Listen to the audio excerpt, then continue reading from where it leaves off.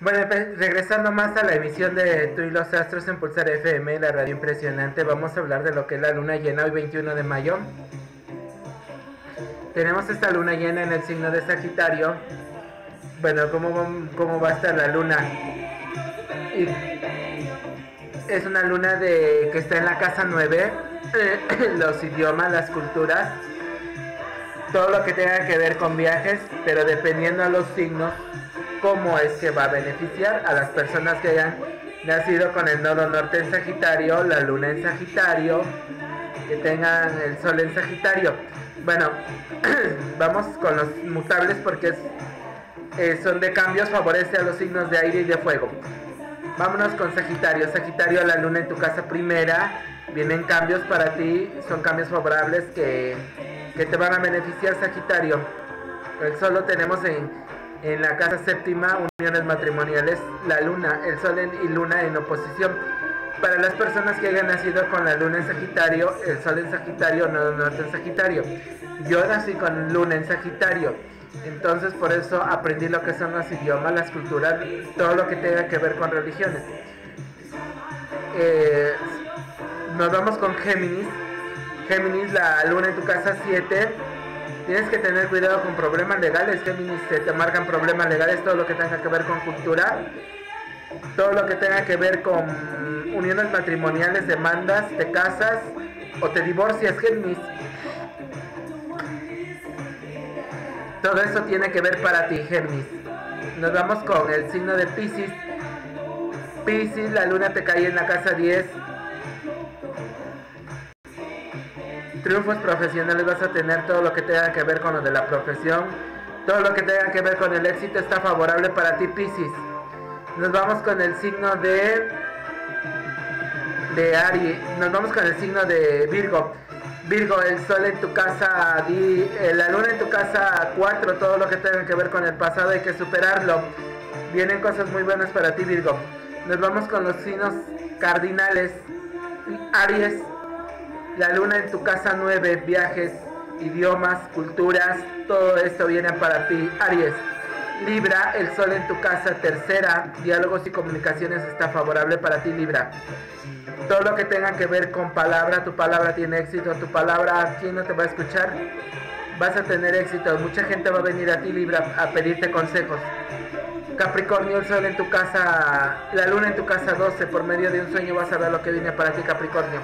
Cáncer, el sol en tu casa, la luna en tu casa octava.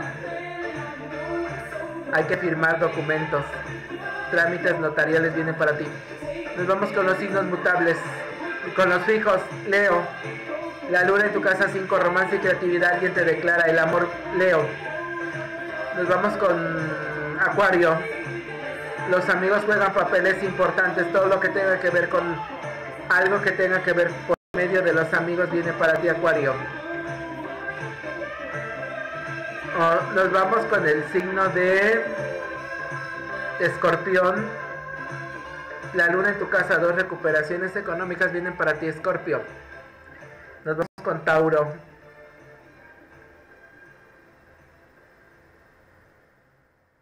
Nos vamos con el signo de Tauro. La luna en tu octava casa. Tienes que descubrir al- algo que tú estabas buscando. Una investigación vas a tener, Tauro. Vas a descubrir o alguien te va a decir algo que esperabas, Tauro. Te recuerden que también tenemos la entrada del signo de eh, tenemos la entrada de Marte en Capricornio.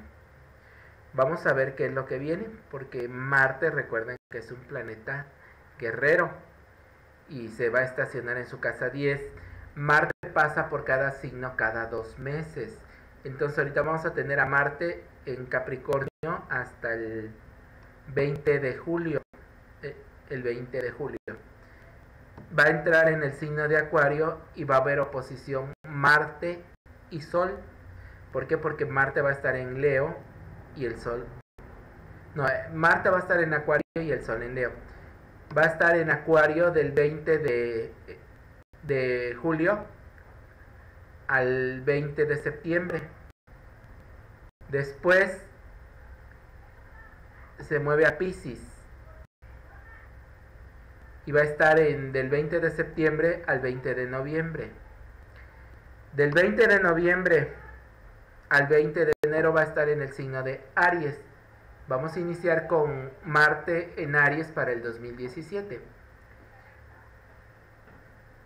Pulsar FM, la radio impresionante, 921, 91, 20 y 22.